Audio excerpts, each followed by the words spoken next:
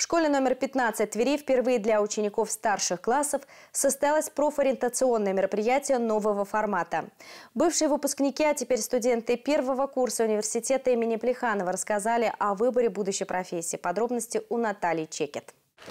Если для школьников, которые обучаются в седьмых-десятых классах, выбор будущей профессии кажется далекой перспективой, то для тех, кто уже в одиннадцатом, этот вопрос первый на повестке дня.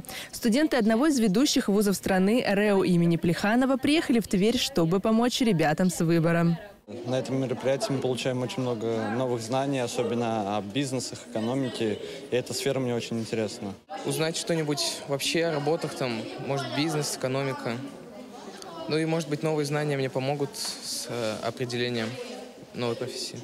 Первокурсники университета имени Плеханова, факультета бизнеса, капитаны России, как и многие московские студенты, приехали в столицу из разных регионов России. Для помощи уже будущим студентам они разработали проект Skill Talk и победили с ним на международном конкурсе «Мой первый бизнес». Его основная идея – это информирование и мотивация школьников для получения современных навыков, необходимых, чтобы успешно поступить в университет и реализовать свои знания в будущем. Такое мероприятие в новом формате проходит в Тверской школе школе впервые охватывает большое количество учеников.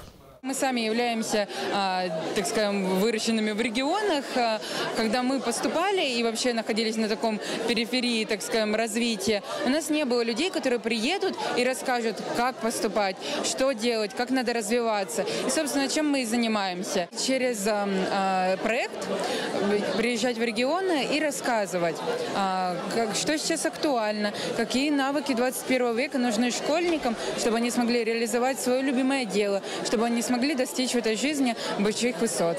Мероприятие построено в формате 45-минутных мастер-классов. У каждого свой спикер. Школьникам рассказывают о том, как выступать перед аудиторией, чтобы тебя слушали, о новых инновациях современности и как достичь поставленных целей. Такие форматы, которые сегодня у нас проводятся в 15-й школе, они как раз и призваны для того, чтобы наши ребята не стали носителями схоластических знаний, мертвых знаний, а чтобы ребята умели эти знания активно, творчески, самое главное, компетентно использовать в своей жизни.